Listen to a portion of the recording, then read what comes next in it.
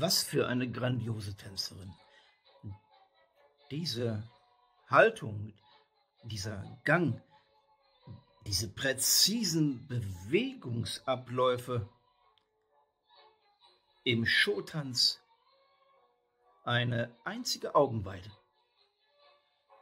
Und ihre Füße erst, diese formvollendeten Endstücke, professionell trainiert, um Höchstleistungen zu verbringen. Die beiden zeichnen mühelos kreisende, schleifende, ziehende, wedelnde, gar wischende Bilder aufs Parkett, die die Kalganova passend zur Musik gekonnt ergänzt durch rhythmisches Tippen, Kippen, Knicken und Kanten ihrer Füße.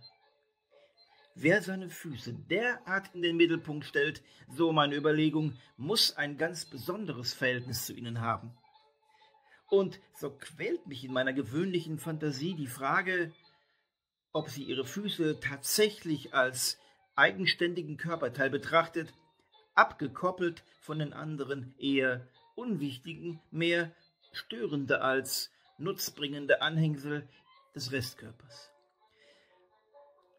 Kurzum, erfahren die Füße der Eleonora Kalganova eine Sonderbehandlung?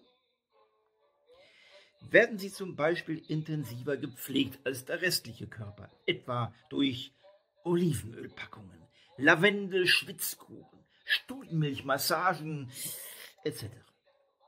Und plaudert sie innig mit ihren Füßen? Fühlt sie sich partnerschaftlich mit ihnen verbunden?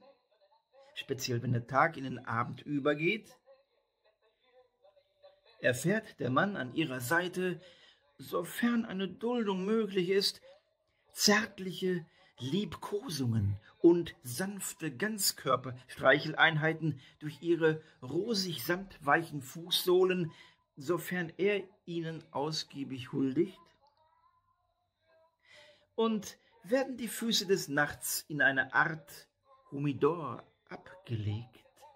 Bei einer nach Jasmin duftenden Luftfeuchte von konstant 60 Prozent, gedämpftem Licht und klassischer Musik?